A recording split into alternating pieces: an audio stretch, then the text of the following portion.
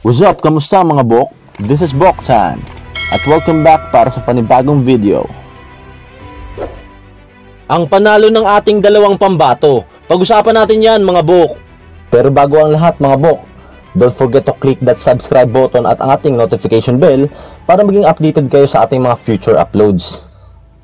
What's up mga Bok? Mabilis ang update lang po tayo dahil pag-uusapan natin ngayon ang naging matagumpay na laban ng ating mga pambato na sina Jerwin Ancahas at Mark Magnifico Magsayo. Ang laban nga po ay ginanap nitong April 10 Saturday night sa Mohegan Sun Casino, Connecticut. Nanalo nga po via unanimous decision si Jerwin Ancahas kontra sa Mexican fighter na si Jonathan Rodriguez. Pumabor po sa ating pambato ang final scorecard ng judges na may score na 115 to 112, 116 to 111, 117 to 110.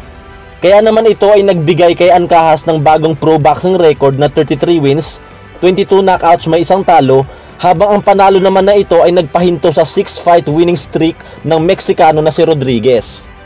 Naging matagumpay po mga bok ang pangsyam na pagdepensa ni Ancahas sa kanyang IBF Super Flyweight title, gayunpaman hindi naging madali dahil masyadong madikit ang naging bakbakan.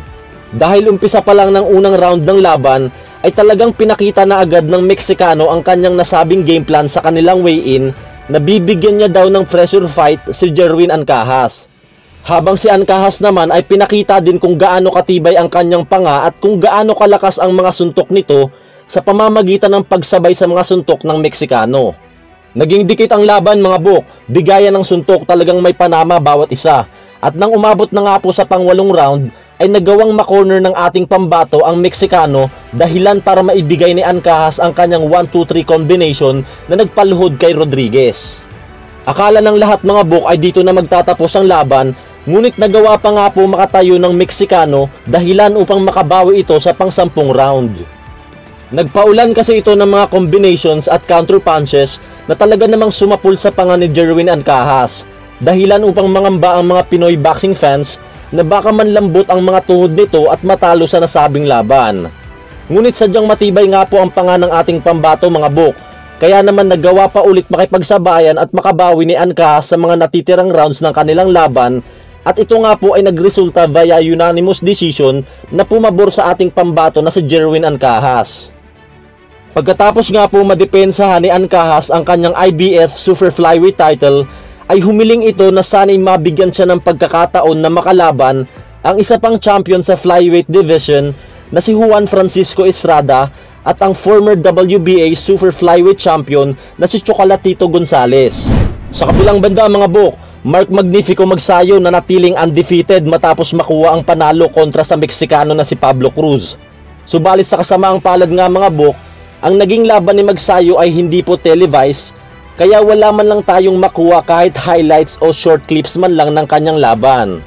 Pero ayon nga po sa report ng mga boxing outlets mga book, nagawang maka-score ni Magsayo via knockdown bago magtapos ang second round sa pamamagitan ng mga jab nito. At muli na namang bumagsak sa third round ang Meksikano dahil sa binitawan na solid left hook ni Magsayo na sumapul sa panga ni Pablo Cruz. Nagawa pa naman daw makabangon ni Pablo Cruz sa pagkaka-knockdown nito, ngunit talagang nagpapaulan ng malalakas at solid punches si Mark Magnifico Magsayo dahilan upang magtapos ang laban sa ikaapat na round. Natapos nga po ang laban ng matiki o na ang Meksikano dahil sa muli na namang pagbagsak nito dahil sa solid right straight na binitawan ng ating pambato Mark Magnifico Magsayo. Kaya naman nanatili pa ding undefeated si Magsayo at nagtala ito ng bagong pro boxing record na 22 wins with 15 knockouts. Kaya congratulations sa ating dalawang pambato. Hanggang dito na lang mga bok. Ano pong masasabi nyo? Don't forget to subscribe at laging tatandaan, basta bok time, it's sports time. Maraming salamat mga bok.